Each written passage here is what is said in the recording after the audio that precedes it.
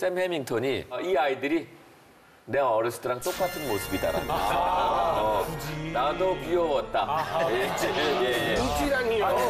날 닮아서 이렇게 예쁜 것이다라고. 예. 중간중간에 이렇게 막 섞으신대요. 네. 유전이 얼마나 강한지 진짜 네. 깜짝 놀랄걸요. 네, 유전자가 세, 강하다. 엄청 세요. DNA가. 확인해 봅니다. 보여주세요.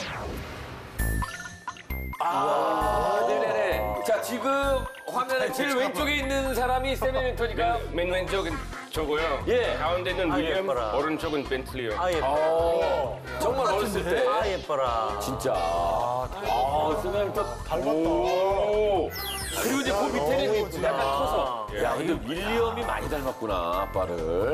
벤틀리도 마찬가지로 똑같아요. 예, 그렇구나. 어, 많이 닮았네요, 진짜. 그러면 우리 저 윌리엄하고 벤틀리도 크면 이제 샘 해밍턴처럼 되는 건가요? 아니 저도 살 빼면 괜찮아요 인물이. 아, 그런 건가? 네. 관리하겠지. 아이들은? 제 옆에서 열심히 관리하고 있어요. 예, 그런 거군요. 아 근데 생각보다 그 막 그렇지는 않으세요. 막 그래요? 막 그런 줄 알았어요? 생각할 때는 막 그런 줄 알았나 봐요. 해드리려고 했는데 죄송해요. 저는 한국 와서 배우면 예. 안 되는 문화 다 배웠더라고요.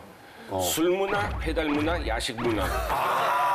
세 가지면 끝나는데. 그거를 섭렵을 했으면. 너무 잘 배워가지고요. 어, 그게 좋았나 보다. 예. 호주처럼 일찍 닫는 가게 많지 않다 보니 예. 집에 가는 길에 어, 해장은 지금 먹고 들어갈까? 해장 먹고 들어가고 자고 일어나면. 해장 또. 먹어요. 아침에 또 해장. 그러니까. 맞아, 맞아. 아니, 솔, 아니 솔직히 얼마나 전에 물어봤어요. 아빠 뚱뚱한 거 싫어요?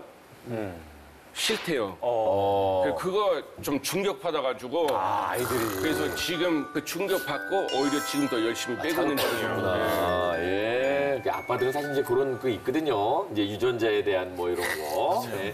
날, 날 닮았으면 하는 뭐 이런 거. 예. 성주 형이 예. 유전자의 끝판왕이에요. 민국이랑 똑같습니다. 그치. 아, 그건 인정. 예, 예. 도사진도 한번 봐야 돼요. 네네. 아유, 뭘 봐요.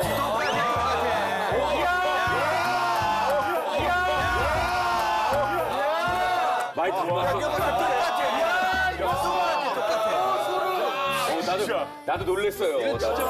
다들 찍어보고 놀랬어. 어, 깜짝 놀랐어요. 아, 그러나 그저 뿌듯한 됐어. 아, 내 아들이구나. 영화 내 거구나. 어, 내 유전자가 확실하구나. 예, 아빠들 좀 이럴 때 은근히